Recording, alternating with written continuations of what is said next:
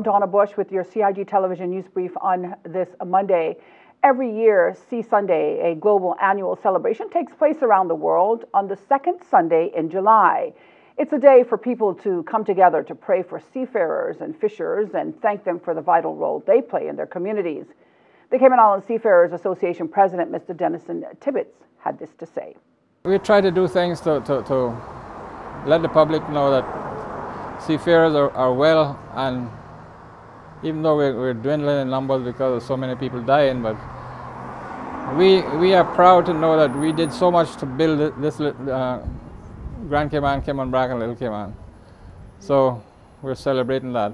And we've recently changed the, the rules of the Articles of Association to include membership of adult children of seafarers.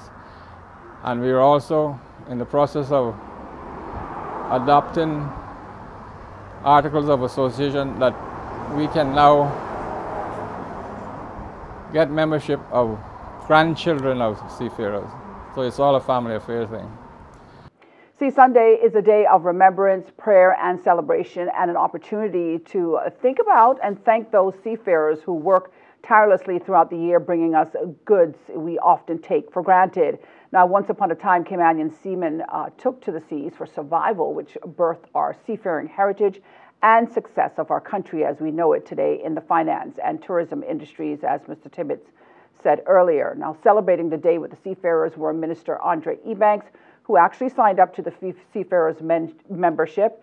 Speaker, the Honorable Catherine Ebanks, was also in attendance. And I can tell he's very excited to receive this award.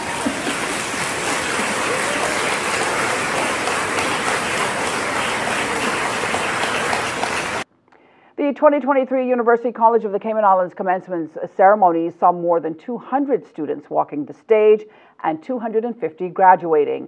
Various special awards were given to students. Awards included the Governor's Award, the Service Award, the Community Partnership Award, and others. In his speech, UCCI President and CEO Dr. Robert Robertson had this to say to the graduates. It's clear that we live in a period of considerable uncertainty as countries, companies, and individuals we must learn to embrace change and remain relevant in today's global dynamic economy. In many respects, skills represents the new currency of today's workplace. For example, as many of you heard me say before, the European Union has declared 2023 as the European Year of Skills. Key points from their documentation in the European Union include the fact that 77% of European companies report difficulties in securing workers with the necessary skills. 20 million ICT specialists should be employed in the, e in the EU by 2030, and they're not available currently. And in fact, in Cayman Islands, we see that additional education is directly linked to higher, higher earnings. In general, an associate's degree can generate 20 to 25% more income annually as compared to, for example, a high school diploma.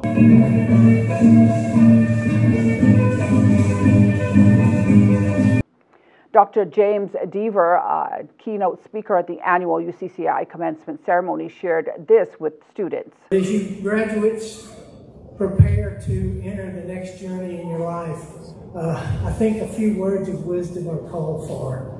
One thing I want you all to remember education is the one thing that no one can take away from you, ever.